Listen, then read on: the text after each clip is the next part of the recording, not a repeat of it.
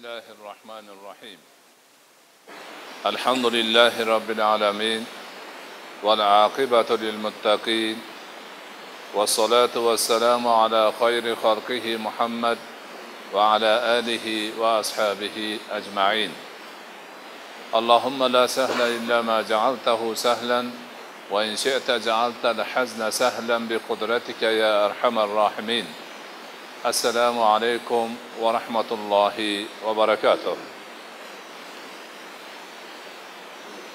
Allohning halili ibrohim alayhissalom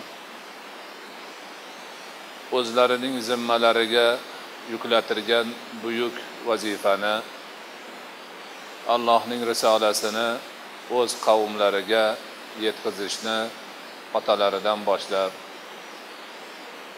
so'ngra qavmlarga o'tib ularni ham qilayotgan ishlari noto'g'ri ekanligi o'zlari qo'llari bilan yasab olgan butu sanamlar iloh bo'lishi mumkin emasligi ular na bir narsani ko'ra olmasliklari na biror narsani eshita olmasliklari va kishilarga foyda ham zarar ham yetkaza olmasliklari to'g'risidagi tushunchalarni taqdim qilganlaridan so'ng ham otalaridan ham qavmlaridan rad javob olib mantiqsiz ravishda biz ota bobolarimizdan ko'rganimizni qilamiz degan gapni eshitganlaridan so'ng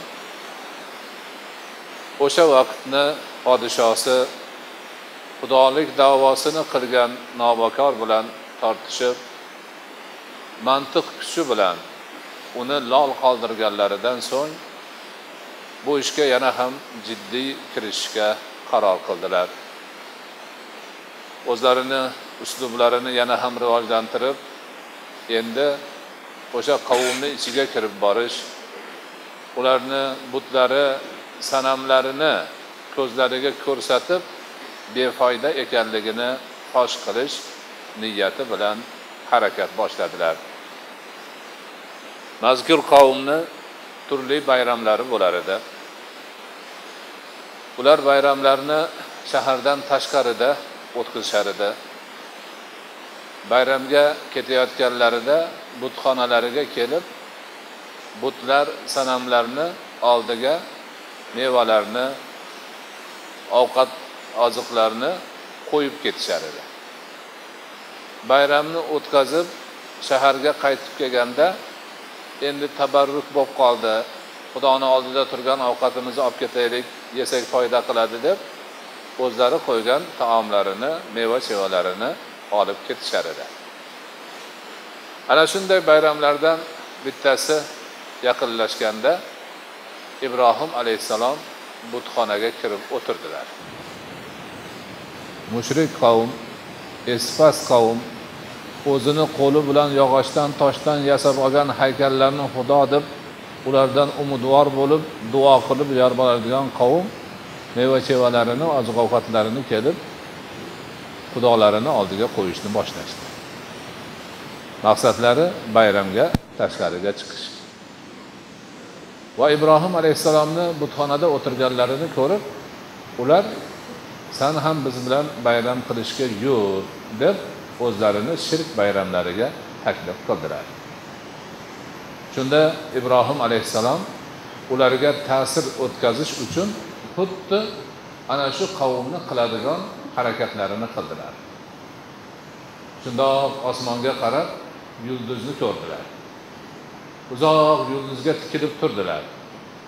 Xuddi yulduzdan bir xabar keladiyu bu kishi o'sha xabarni xalqlarga yetkazadiganday bo'lib ko'rib turib turib hammani e'tiborini jalb qilib o'zlariga qaratib olganlaridan keyin inni saqib dedilar. Man bemorman kasalman dedilar. Haqiqatdan u kishi kasal edilar. Chunki haligi qavmni qilayotgan qilig'i shirki kufri ollohni tan olmasligi nabiyni inkor qilishi ahmoqona qiliqlar hammasi u kishini ruhlarini charchatgan edi. Haqiqatdan afsus nadomatda kuyib yongan edilar. Oddiy haqiqatni tushunmasdan insonlikka or bo'ladigan ishlarni ibodat deb yurganlaridan kasal bo'lgan bemor bo'lgan edilar. Ana u sharhlarini aytmadilarda man kasalman dedilar. Haligi odamlar buni boshi og'rib qolibdi shekilli. Yoki tanasida bir kasalligi bor ekanu tashqariga chiqolmas ekan deb ha bo'pti bu bormas ekan biz ketdik deb jo'nashib ketishdi. Hamma chiqib bo'ldi. Yolg'iz ibrohim alayhissalom o'zlari qoldilar. Ana shunda turib haligi tili yo'q zaboni yo'q ko'zi yo'q qulog'i yo'q butlarga xitob qildilar. Qani yemaysizlarmi oldinglarda meva cheva turibdi oziq ovqat turibdi qani olinglar jim nimaga gapirmaysizlar yana jim ana o'sha narsalarni isbot qilganlaridan so'ng qo'llariga bir boltani oldilarda haligi butlarni birin ketin chopa ketdilar. Hammasini chopib maydalab maydalab bo'lganlaridan keyin butlarni eng kattasini yelkasiga boltani ilib qo'yib yana o'tirdilar. Mushrik qavmni bayrami oxirlab asta sekin qaytib kelishni boshlashdi.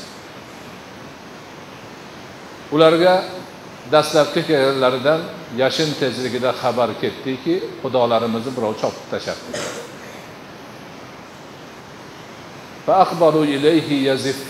deydi qur'on haligi gapni eshitgandan keyin hammasi ibrohim alayhissalomga tomon shoshilib bir birini turtib oyoq usti qilib tezroq yetib borish ma'nosida surishib kelishdi.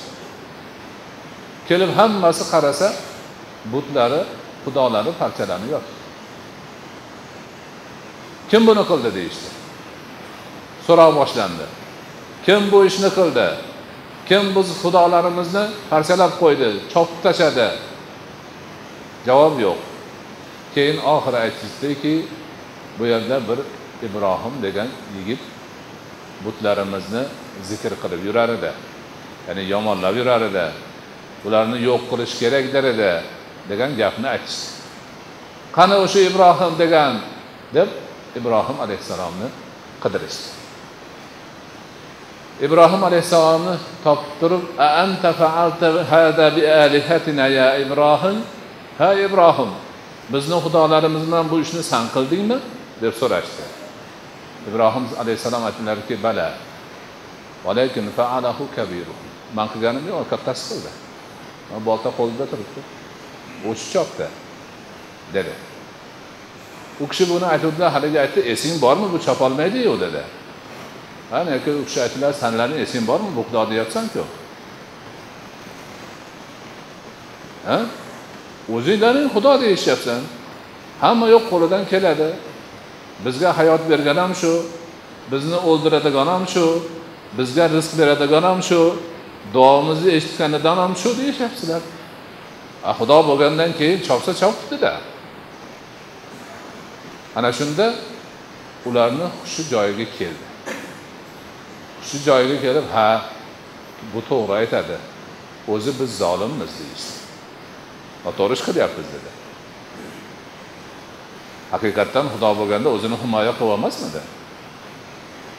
Qanaqa qilib bular bu holga kelib qoldi? Deyishdida keyin yana boshlari aylandi. Buzuqlik aqidasi buzuqlik iymonni yo'qligi shunaqa bo'ladi tuturuqsiz bo'ladi odam. Bir haqiqatni xayoliga kelib qo'yganda gapiradida yana eski dardiga balosiga qaytadi. Bularni yana boshi aylandi. Boshi aylandida ibrohim alayhissalomga do'q qilishni boshlashdi. San buni bilarding bularni gapirmasligini. Nimaga bunaqa qilding? deb yana demak teskari gapga o'tishdi. Teskari gapga o'tishib turib bir birlariga aytdiki endi xudolimizga yordam beraylik. Gapni qarang. Xudolarimizga yordam beringlar. Qanaqa qilib yordam beradi? Buni chopib tashlagan ibrohimni bir jazolashimiz kerak. Maslahat qilishib ibrohim alayhissalomni o'tga kuydirishni kelishildi ya'ni eng oliy jazo. Qamab qo'yish emas osib yuborish emas chopib yuborish emas katta bir gulxan yoqib gulxanga o'rtasiga tashlab nomi nishonini qo'ymasdan yo'qotish qarorim bo'ldi. Gulxanni ham yoqishdi. Rosa olov avjiga chiqqanda ibrohim alayhissalomni ana shu olovni o'rtasiga otishdi. Tarixchilar aytadiki manjaniq degan asbobni ishga solishgan manjaniq degani anaqa bo'ladigan halacho'pga o'xshagan narsa bo'ladida bir tarafiga o'sha otiladigan narsani qo'yib turib keyin bu yog'idan bossa yoki arqonni kesib olsa haligi narsa ko'tarilib uzoqqa otadi narsani. Ana shu tarzda ibrohim alayhissalomni o'tga olovni ichiga otishdi. Alloh taolada ya naru kuni bardan va salaman ala ibrohim dedi. Ibrohim alayhissalomni kofirlar mushriklar olov tomon otishlari bilan olloh olovga xitob qildi. Hoy olov ibrohim uchun sovuqlik va salomatlik bo'l dedi. Otilgan ibrohim alayhissalotu vassalom borib olovni qoq o'rtasiga tushdilar. Olov u kishini sovuq narsa bo'lib kutib oldi hech bir zarar yetkazmadi. Ya'ni sovuq bo'l desa sovuq turaveradiyu tushganda biror yerlari og'rishi mumkin deydi ulamolar. Salomatlik ham bo'l deganda xuddi bir faryosuvni ustiga tushgandek tushdilar u kuydirmaslik bir tarafda shu bilan birga ozor chekmadilar hech qanaqa. Bo'lmasa manjalini otgandan keyin juda balanddan tushish kerak quruq yerga tushsa ham odam odam ozor topadi oyoq qo'li sinishi bor boshqasi bor. Bunaqa narsani hech narsasi bo'lmadi. Nima uchun? Chunki o'shani bo'ladigan qilib qo'ygan zot olloh o'zi himoyasiga oldi. Alloh olovni o'zidan boshqa narsalarni kuydiradigan tabiat bilan yaratgan. Olov paxtaga tutiladimi yog'ochga tutiladimi kiyimgami odamgami hayvongami yondiradi. Mana shuni olloh qoida qilib qo'ygan. Qayerga olov tegsa isitadi yondiradi eritadi kuydiradi. Boshqa bir boshqa iloji yo'q. Endi mana shu olovga kuydirish qobiliyatini bergan boshqa narsalarga kuyish qobiliyatini bergan olloh xohlagan lahzasida o'sha o'ziga o'zi bergan narsani olib qo'yaveradi. Ana olovga buyrug'ini berdi. Sovuq bo'ldi dedi sovuq bo'lib qoldi. Qoida shu. O'zi qilgan narsani olloh o'zi buzishi o'zi teskariga yurg'izishi o'zi bandasi uchun manfaatli qilib qo'yishi mumkin zararli narsa. Bu yolg'izgina ollohning o'zini qudratidan keladigan ish. Boshqa demak holat yo'q. Mo'jiza bo'ldi. Ulug' bir ulul azm nabiysiga olloh marhamat ko'rsatdi. Ana kofir qavm u zoti va barakot alayhissalotu vassalomga ozor yetkazish niyatidan demak noumid bo'ldi. Eplay olmadi. Hech narsa qilmadi. Qo'lidan kelmadi. Olloh yer yuzida o'zi joriy qilib qo'ygan qoidani o'zi buzib nabiysini saqlab qoldi. Ana o'sha hodisadan keyin endi ish og'irlashib ketganini anglab yetgan ibrohim alayhissalom inni zahibun ila robbi fahuva yahdin dedilar endi man o'z robbimga boraman. U mani hidoyatga soladi. O'z robbimga boraman degani dini diyonatimni qutqargan holda bu zolimlarni oldidan olloh o'zi ko'rsatgan tarafga yurib ketaman hijrat qilaman deganlari edi. Yoshlari bir yerga borib qolganda to'qson yoshga yetib qolganlarida. Nabiy bo'lib nabiylikni omonatini demak taqdim qilib yurgan bir paytlarida ona yurt o'zlari o'sgan diyor qavmi qarindosh yor do'stlarini tark qilib hijrat qilishga majbur bo'ldilar. Albatta bu narsa ibrohim alayhissalom uchun o'zi o'zlari uchun foydali edi. Odat bo'lib o'rganib qolgan narsalardan ajralib chiqar edilar yangicha bir tafakkur qilish yangicha bir o'ylash yangicha bir reja tuzish ollohning dinini xalqlarga yetkazishni qanday olib borishni yangicha uslubini o'ylash imkoni tug'ilardi ana shu allohning amri bilan ibrohim alayhissalotu vassalom o'zlariga o'xshagan qari holatdagi demak kishilarni odatidan tashqari bir e, demak ish qilib hijratga qaror qildilar va ayollari bibi sora onamiz bilan hijrat qildilar. Hijratni misrga qildilar. Mana shu yerda misrda bo'lgan voqealarni endi qur'oni karimda emas hadisi sharifda bayoni keladi. Sahih hadisda aytiladiki nabiy alayhissalotu vassalom aytadilar allohning nabiysi ibrohim alayhissalom uch marta qo'shtirnoq ichida yolg'on gapirganlar. Undan boshqa hech yolg'on gapirmaganlar.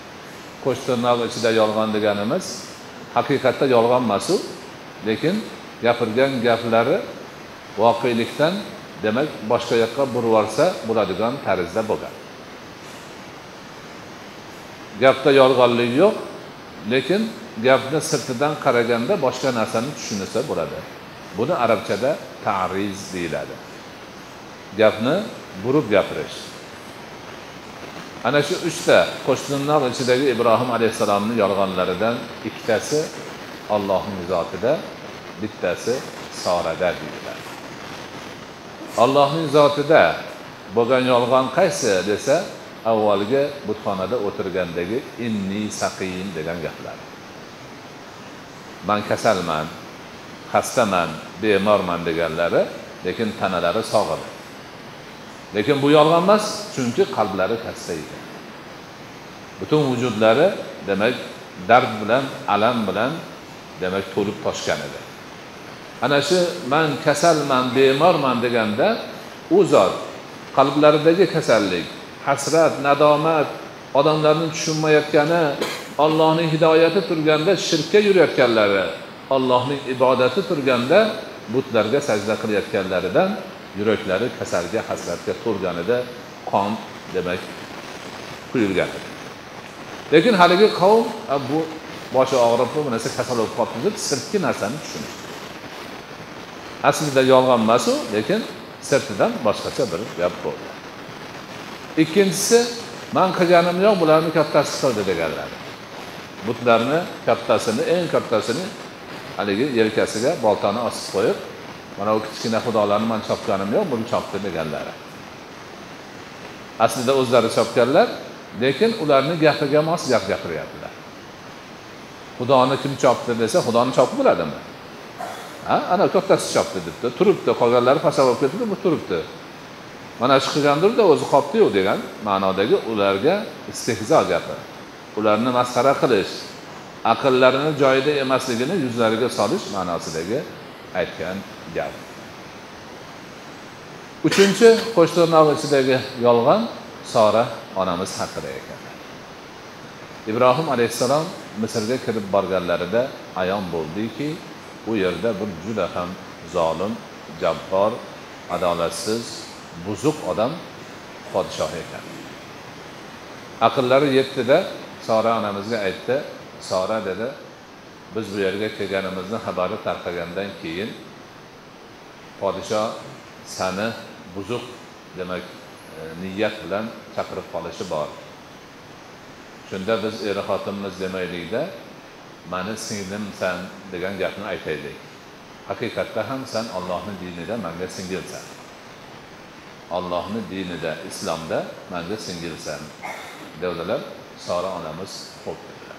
Kelishib olishdi haqiqatdan ular kirib borish bilan begona odam kelganligini gapi tarqadi haligi podshoni oldida yuradigan gumashda bekamizlardan bittasi darrov yugurib podshoni oldiga bordida podshohim shunaqa bir musofir keldi.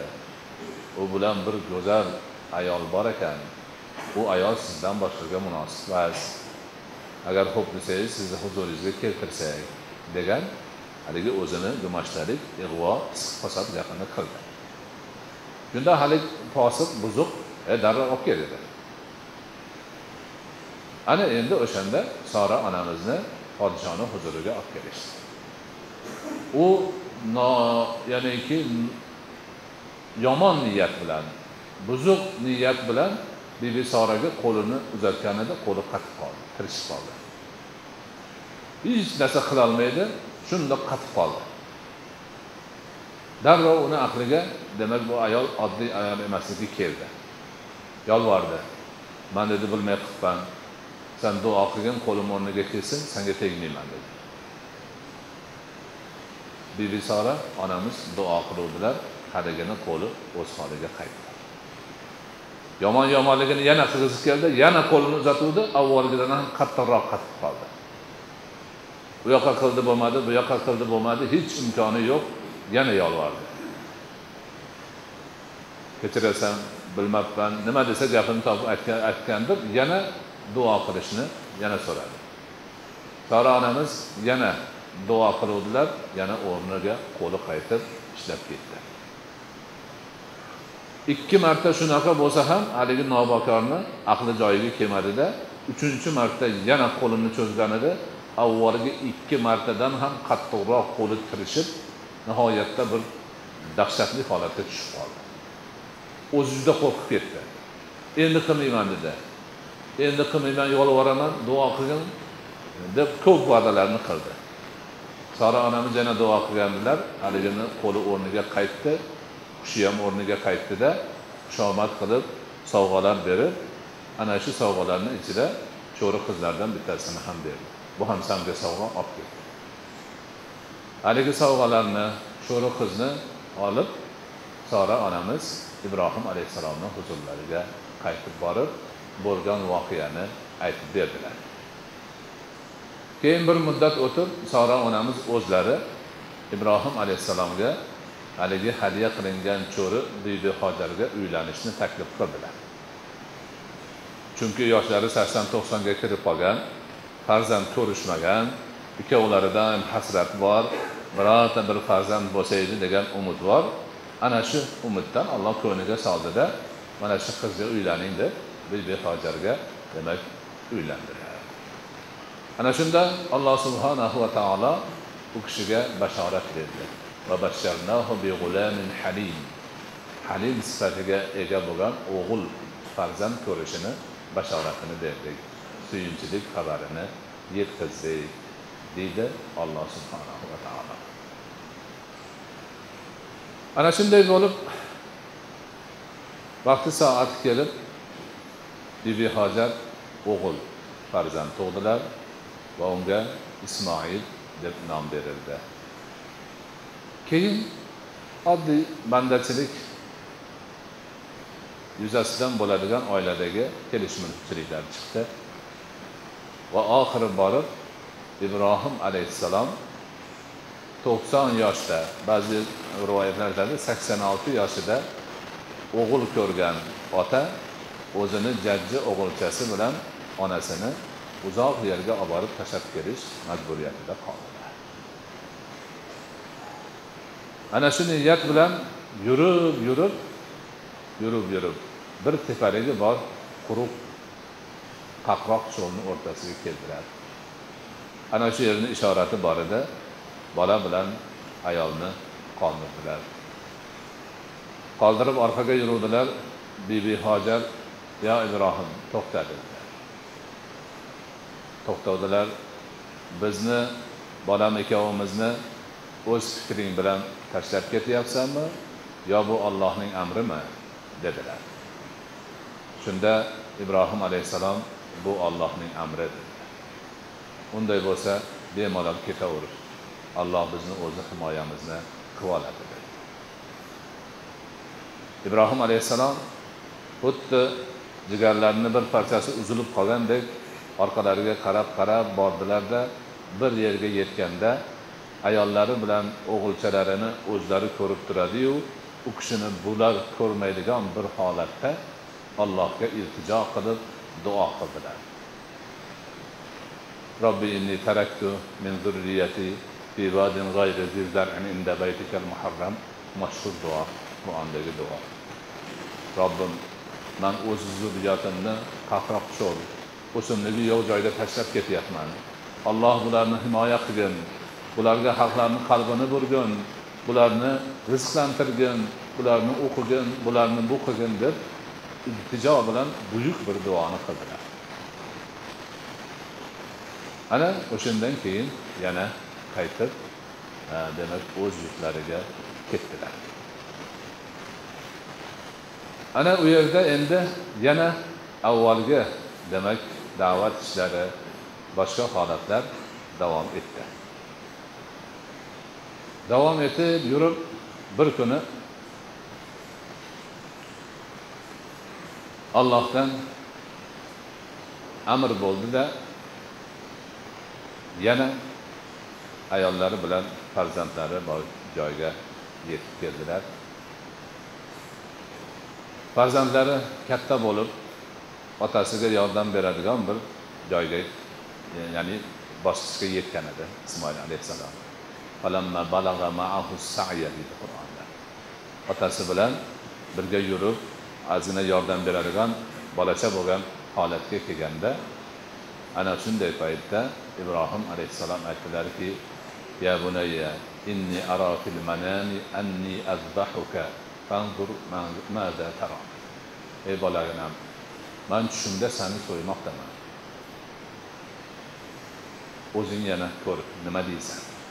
Dedilar. So'ymoqdaman deganlari so'ydim emas so'ymoqdaman deganlari takrorni ifoda qiladi. Ya'ni ibrohim alayhissalom bir emas bir necha marta tush ko'rganlar tushlarida o'g'li ismoilni so'yyaptilar payg'ambar alayhissalotu vassalomlarni tushlari vahiy bo'ladi. Demak buni olloh manga o'g'limni so'yishni amr qilmoqda deb tushundilar. Va gapni o'zlari hal qilib qo'ymasdan ikkinchi tarafga so'yilishi lozim bo'lgan shaxs o'g'illari ismoilga aytmoqdalar ya'ni man o'zim to'qson yoshda ko'rgan bolam bo'lsa jigarporam bo'lsa ko'zimni qorochig'i bo'lsa nimaga so'yar ekanman degan gap yo'q so'yaman deyaptilar. Mana shu yerda ismoil alayhissalom ham aytdilarki ya abati if'al ma tu'mar satajiduni inshaalloh minas sobirin. Otaginam sizga nima amr qilingan bo'lsa shuni qiling inshaalloh mani sabrlilardan topasiz. Ya'ni dunyo tarixidagi insoniyat paydo bo'lgandan beri bo'layotgan voqealar ichidagi eng buyuk fidokorlik shu edi. To'qson yoshlik keksayib qolgan ota to'qson yoshida o'g'lini ko'rgan o'g'lini yerga yotqizib bo'g'izdan pichoq tortib so'yishga tayyor edi. Va ana shu so'yilishi kerak bo'lgan yosh bola ham odob bilan otasiga xo'p deb olloh nima desa shuni qiling man sabr qilaman deb turdi. Bunaqa fidokorlik bunaqa ollohning amriga bo'ysunish bunaqa ollohni aytganini qilishga tayyorgarlikni hali insoniyat ko'rmagan. Inson tarixidagi eng buyuk fidokorlik aynan ibrohim alayhissalom va ismoil alayhissalom tarafidan sodir bo'ldi. Pichoqni qayradilar bolani yonboshi bilan yotqizdilar. Va demak xuddi qo'yni so'yadiganday qilib jag'idan tortib tomog'idan pichoq tortdilar bu qur'onda yo'q lekin tarix kitoblarida aytiladiki pichog'ini tortdi o'tmadi. Ikki uch marta uringan ekan bo'lmagandan keyin jahl bilan yonida turgan toshga urganini toshni kesib ketdi pichoq. Chunki ismoil alayhissalomni so'yilib qonini to'kilishini allohga keragi yo'q edi. Olloh o'zi qur'onda aytyaptiki mana shu buyuk sinov bo'ldi. Ya'ni ibrohim alayhissalomga sinov ismoil alayhissalomga sinov. O'g'lingni so'yasan deyapti otang sani so'yadi deyapti. Nima deydi qani? Ana ikkovi ham ho'p dedi. Ana shundan ulamolarimiz aytadiki olloh bandani boshiga tushiradigan ba'zi bir o'ziga yoqmaydigan sinov ishlari bandani obro'sini ko'tarishiga sabab bo'ladigan narsa bo'ladi sinovga allohning taslimi allohga taslim bo'lgan joydagi o'zini butun vujudi bilan allohga topshirib qo'yib sinovni demak boshidan o'tkazsa haligi bandani obro'si ko'tariladi. Ana ana shu sinovdan ibrohim alayhissalom ismoil alayhissalom yaxshi o'tganlaridan butun dunyoga hozirgacha demak orqalaridan yaxshi zikr.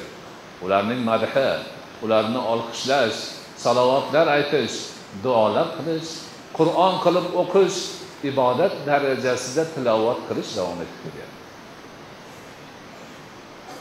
mana bandani boshiga o'ziga yoqmaydigan musibat ko'rinadigan og'ir ko'rinadigan qandaydir balo ofat bo'ladigan narsalar mo'min muxlis odamni boshiga tushsa bu sinov bo'lib haligi sinovdan yaxshi o'tsa allohning marhamatiga obro'siga ikki dunyoning baxtiga saodatiga sabab bo'ladigan bir holat bo'lishini yorqin misoli. Ana o'sha demak sinovdan yaxshi o'tganlariga olloh haligi tang holatdan o'zi chiqardi. Ibn ismoilni fidosi uchun buyuk bir so'yishni o'zimiz joriy qildik deydi. Ya'ni alloh taolo shohli qo'chqorni tushirdi va ibrohim alayhissalom qurbonlikka ana o'shani so'ydilar. Bu voqea hozir hojilar shaytonga tosh otadigan minoni bir qismida bo'ldi. Aqaba deb ataladigan joyda. Qur'onda yo'q lekin tarixchilar qilgan rivoyatlarda keladiki ana shu ismoil alayhissalom bilan ota bola so'yish to'g'risidagi kelishuvni qilib ketayotganlarida shayton chiqqan.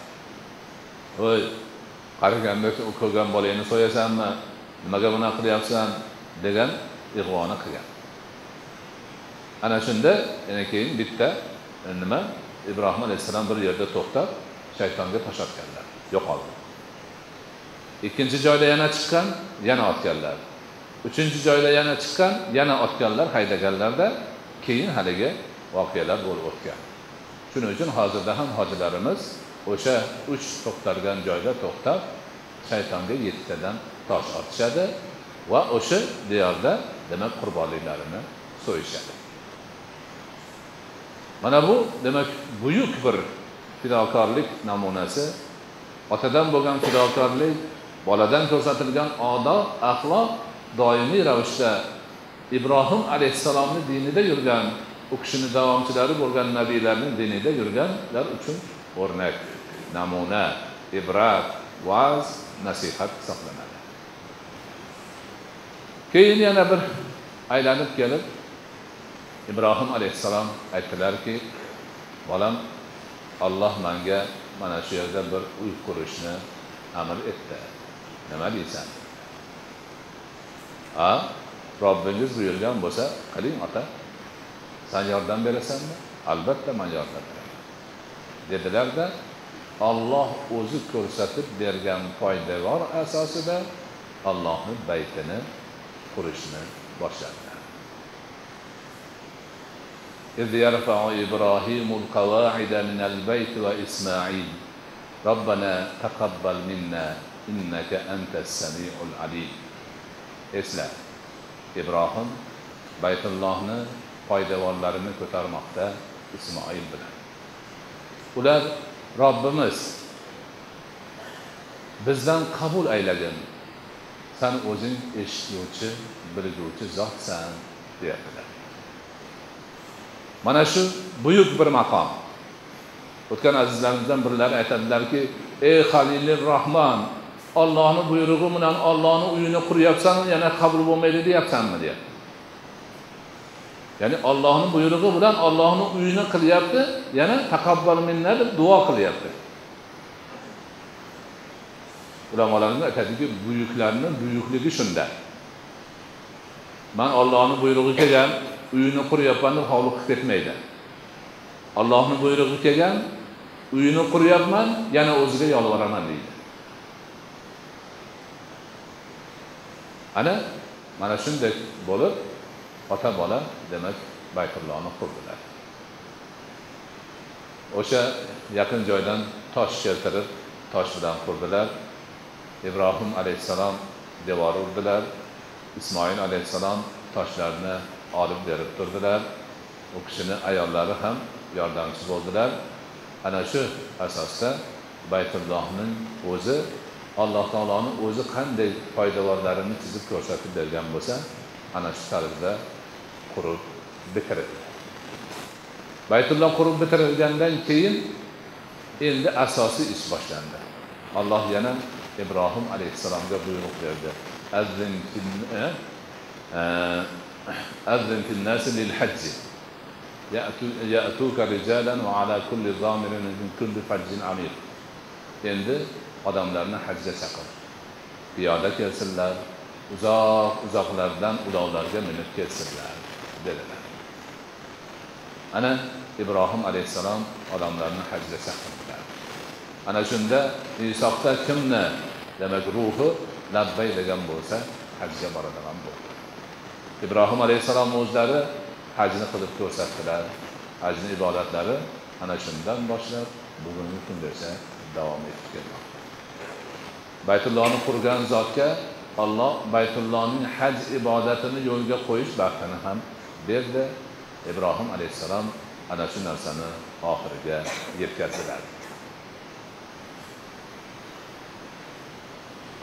Yana qaytib ketib o'zini diyorlarida yurganlarida bir kuni ibrohim alayhissalomni huzurlariga yosh yigitlar mehmon bo'lib kelishdi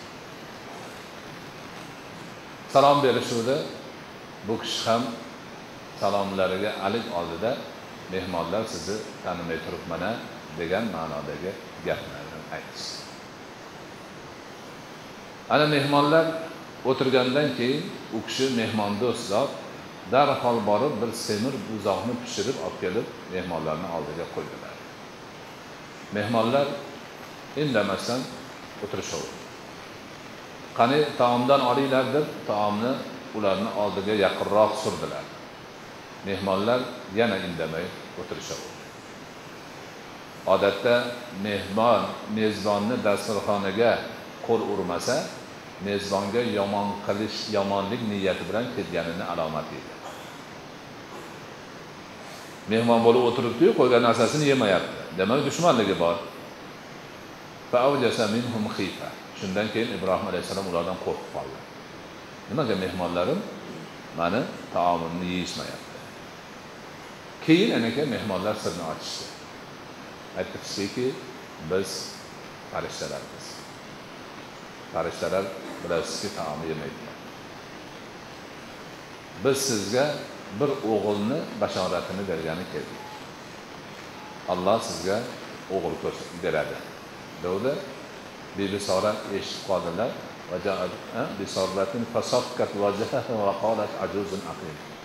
O'zlariga bir shafat urib voy sho'rim qanaqa qilib qari kampir bola tug'aman dedilar.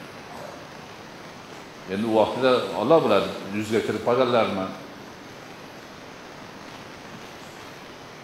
Farishtalar kelib ibrohim alayhissalomga olloh sizlarga o'g'il berish bashoratini aytishni bizga topshirdi desa o'g'il ko'rishi kerak bo'lgan xotin yuziga urib voy sho'rim qanaqa qilib bola topaman man qari kampirmanku deyaptilar. Bu ham haligi o'tdagi olovni xususiyatidagi gap. Alloh erkak bilan ayolni demak ota ona bo'lish qobiliyatini qilib qo'ygan birga yashasa ulardan farzand tug'iladi. Bu qoida. Lekin o'sha farzand ko'rish ma'lum yoshgacha bo'ladi. Ko'proq qirq qirq besh mana shu yoshlarda. Undan o'tib ketgandan keyin qarib qoladida farzand ko'rish qobiliyati yo'qoladi. Endi bibisoraga ko'rib o'xshab to'qson yuzga kirib qolsa tamoman umid yo'q. Unaqa narsani san bola ko'rasan desa o'zi ham ishonmaydi boshqani ham bu esi bormi o'zi buni jannatga ketgan deydigan holatga kelib qoladi.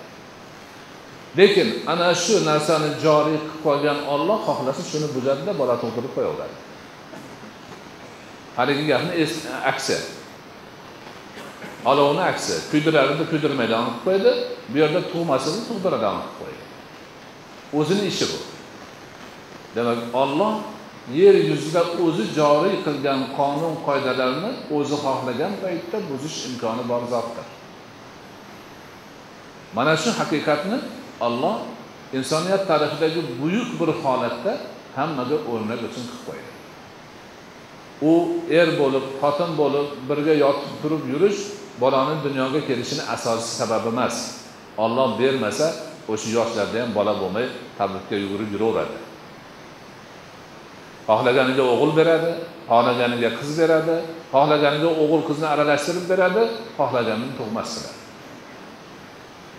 hammasi o'zidan ana endi o'sha zot yoshi qarib to'qsonga yuzga kirib qolgan odamlarga farzand beraman desa yana o'zini ishi. Mana shu holat ibrohim alayhissalomni zotlarida bo'ldi. Bibi sora o'ta qari holatlarida ishoq alayhissalomni topdilar va alloh taolo u kishini ham ularga o'g'il qilib berdi va nabiylardan bo'lishini xabarini berdi. Ana oxir oqibat kelib iymon g'olib keldi. Allohga bo'lgan ibodat egalari ibodatli bandalar zafar topdilar niyatlariga yetdilar. Qarib katta yoshlarga kirib qolgan bo'lsa ham hammasi joyida bo'ldi. Ibrohim alayhissalom to'g'risidagi madh oyatlari maqtov oyatlari nihoyatda ko'p. Payg'ambarimiz alayhissalotu vassalom bitta hadislarida iso alayhissalom muso alayhissalom ibrohim alayhissalomni tushlarida ko'rganini va qaddi qomatlari yurish turishlarini bayonini qilib berganlarda ammo ibrohim manga o'xshar ekan deganlar ammo ibrohim manga o'xshar ekan deganlar ya'niki qaddi qomatlari hamma taraflaridan ibrohim alayhissalom o'zlarini kichik nevaralari muhammad alayhissalomga o'xshar ekanlar bunaqasiga aytsak muhammad alayhissalotu vassalom o'zlarini katta bobolari ibrohim alayhissalomni demak o'xshashlari bo'lib tug'ilgan ekanlar ibrohim alayhissalotu vassalomni to'g'risida kelgan sahih hadislardan yana birida aytiladiki اختتن إبراهيم عليه السلام وهو ابن ثمانين سنة بالقدوم ibrohim alayhissalom qadum degan joyda o'zlarini o'zlari xatna qilganlar sakson yoshlar. Ya'ni birinchi hijrat qilgan payg'ambar bu kishi edi birinchi xatna qilgan inson ham ibrohim alayhissalom bo'ldilar. Bunaqa birinchi bo'lganlardan juda ko'p narsalar ibrohim alayhissalomga nasib qilgan. U kishini halilur rohmon ekanligi ha? Abul anbiyo ekanligi halim ekanligi Alloh ekanligi va barcha bandada bo'lishi mumkin bo'lgan yaxshi sifatlarni sohibi ekanligi qur'oni karimda qayta qayta takrorlangan. Mana bu buyuk nabiy sollallohu alayhi vasallamning buyuk hayotlari buyuk fidokorliklari odatlari hamma hammasi siz bilan biz mo'min musulmonlarga ibrat va'z nasihat ana shu o'rnak olish eh, demak manbasi bo'lishi kerak. Bizni qur'onimizdan rasulullohni hadislaridan boshqa yoqda kelgan bo'lmag'ur gaplar bilan o'ralashib qolmasligimiz kerak. Haqiqat ambiyolarning haq sifati anbiyolarning haqiqiy vasfi aynan qur'onda va rasulullohni hadislarida o'z o'rnini topgan o'z maqomini topgan o'z hajmini topgan to'g'riligini topgan. Ana shu ma'noda demak biz yaxshi bir ibrat olishimiz kerak bo'ladi. Alloh subhanahu va taolo ibrohim alayhissalom ismoil alayhissalomdan o'rnak olishimiz ularni barakotlaridan bahramand bo'lishimizni hammamizga o'zi nasib qilgan bo'lsin.